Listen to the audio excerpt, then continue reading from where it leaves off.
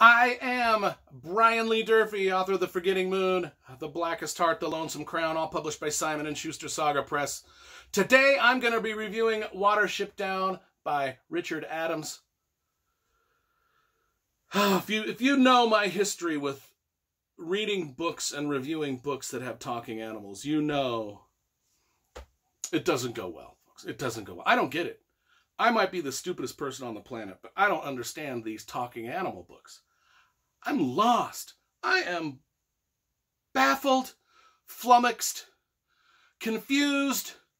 I am just disoriented the whole time I read these animal books where the animals talk to each other. Oh, and, and if you want to see my review of Redwall and Mossflower, just type in Redwall or Mossflower and my name into YouTube and the videos will come up. I got a problem, folks. I got a problem. I, I just, I got a problem.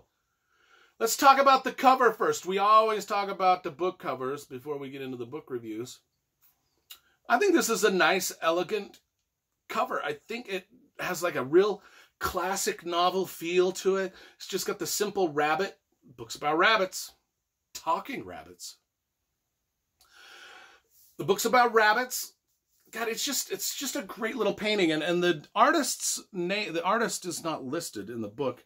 I couldn't find who did this painting, but it's very nice. I like it. I like it a lot. What about the book? Oh, and not only that, but there's a nice little map. This little map of Watership Down area. Watership Down is like a part of uh, southern England. In fact, I Google mapped it. And it actually takes place in a real area of England, just slightly south west of London, kind of in between London and Bath. I've been on those roads. I know what it looks like out there. Stonehenge is out in that area. Um, Downton Abbey is out in that area. If you want to get a feeling for the flavor of what we're talking about, of the landscape, these little talking rabbits are bouncing around through.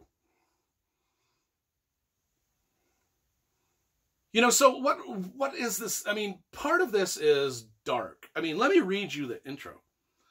Just this is not as light-hearted as Redwall. Just let me read you the introduction to this book about talking rabbits. Let me read you this introduction. And tell, let me tell, to tell me if you think this is for kids. Why do you cry out thus? Unless at some vision of horror. The house reeks of death and dripping blood. How so?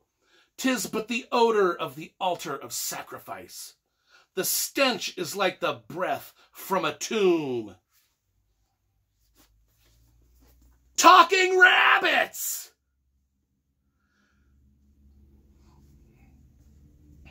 It's like a horror novel, this thing. People have been traumatized by this book about talking rabbits. I mean, there's a cartoon that came out in 1970s or the 80s or whenever that it's and it's a horror show talking rabbits murdering each other like it's just like they're just like they're Ted Bundy. It's crazy.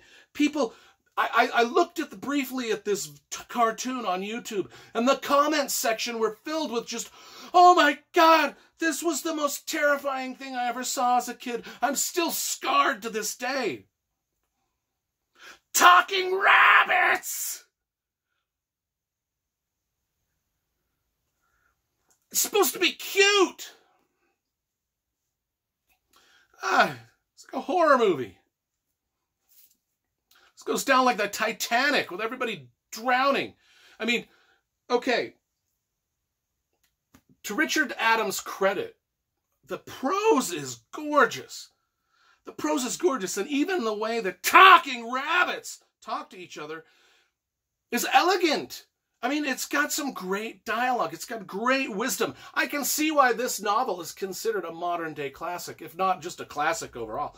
It's got all the trappings of the classic. It's got the allegory.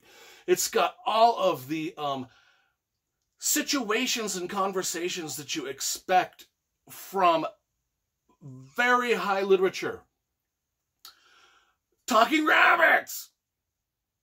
Here's the thing in Redwall, I didn't understand the scale of the rabbits in comparison to the buildings and the wagons and the horses, because sometimes it seemed like the buildings, the wagons, and the horses were human sized and the little animals were like little teeny, teeny mice.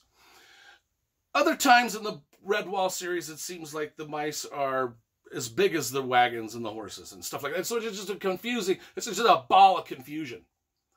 In this one, though, it, the, the scale is, it makes sense. They're normal sized rabbits living in the human world with normal humans and normal sized cars and normal sized fences.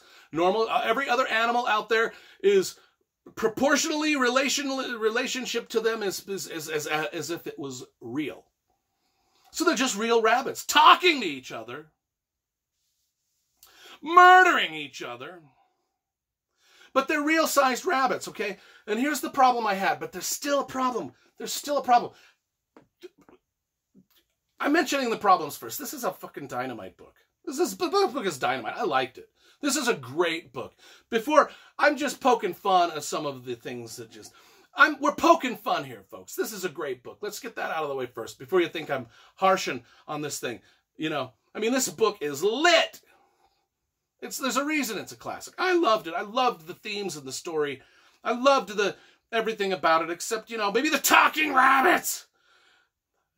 The story could have maybe had humans in it, and it would have made more sense for me. But we got rabbits talking. And one of the things they do when they talk is they speak in English. And half the stuff that they see, like there's a dog. Oh, there's a dog running through the field. Maybe we ought to avoid that field today because there's a big dog running through the field. But then the next day, there's a fox running through the field. Instead of calling it a fox, they've got a rabbit language for the fox. Like there's, okay, so it's not a fox, it's something else. It's like an Irabuia.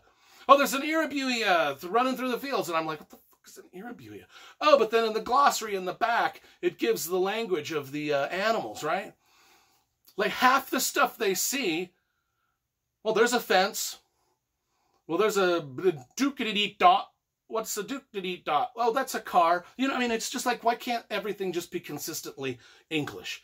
Why does half of the rabbit language have to be made up words out of out of someone's ass when it should all just be flat English. You know, it's like oh the some because some of the birds are called hawks, others are called the the you know the yakadiks. Well, I mean, okay, so there's a hawk, then the eagles are yakadiks. I mean, why can't the eagles be eagles and the hawks be hawks? Why do, or, or why don't they have? I, I know why they can't have everything be in rabbit language because this would no, not make sense. But you know, having one out of every hundred words in rabbit language, that somehow makes sense. Talking book, animal talking books, I, they vex me, folks. They vex me. I'll be honest with you. But I did love the story of Fiver and Hazel and Bigwig and Blackberry, and I love their journey. You know, it's got it's got a great theme of human humans taking over the nice landscape the it, it's it's like a very like anti-industrialized it's like the humans are just paving over everything including the rabbit homes you know they just they just want to live at home they just want to be at home they just want to live at home and so they, they, they things are encroaching upon their land so they go on this journey to find a place called home they go in search of watership down or this this mythical place that they think will be their home and uh they get chased by other rabbits, they get chased by dogs, they get chased by cats, they get chased by birds, they get chased by eucalypts and what to fucks and cheek to pumps. And I don't know what those were. They could have been, you know, squirrels or uh, monkeys. They could have been, you know, alligators. I don't know what they were. But they get chased by a lot of stuff. And it's sad. I can see why it traumatized a lot of people that were reading this when they were 12 years old. And towards the end, it all goes to shit. a little spoilery warning. But I'm supposing if you've uh, are watching this review, you probably already read the book, so you know what I'm talking about. There's rabbit on rabbit violence, people. Oh my God. I've been around real rabbits. I mean, they can be, oh, they're freaky. They're freaky. I mean, I've got a friend who has some rabbits living in her home with her. God knows why. I have a clue why she got rabbits living in her little apartment, but she does.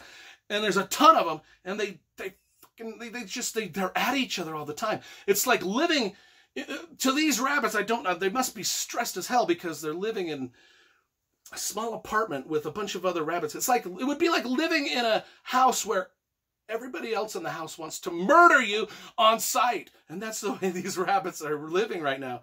And and they thump. Have you ever seen a rabbit thump the ground? I mean, it's like, it'll freak you out. I mean, it's loud. It's like someone taking a sledgehammer to the floor of the apartment. Boom, boom. I mean, it shakes like an earthquake. You're living in an earthquake, and it's, it's a little rabbit. It's just a little rabbit. I, oh my God, it's in the just like I mean, I don't even want I don't even want to approach the rabbit when it's doing that. Thumping rabbits with their back feet. Oh God, that's that's a oh my gosh, and then and then imagine if they could talk. Imagine if they could all talk in that little apartment. Oh my gosh the things they'd be saying to each other. I can't, I mean, I'd get shut down. My YouTube channel would get shut down. What do I think are Watership Down? Eh. We had a little fun with this video, cracking on some of stuff just because talking animal books and me don't sit well together. I don't know if I can continue, but this is actually a pretty good book. I can see why it's a modern day classic. I give it a good 7.5. I would have given it about a 9.5 had it been about anything but talking rabbits. If it would have been about humans in the same situation, I probably would have liked it a lot more. But it is about rabbits. It's an allegory, you know. It is what it is. 7.5 out of 10. Watership down. I do not know why I torture myself so.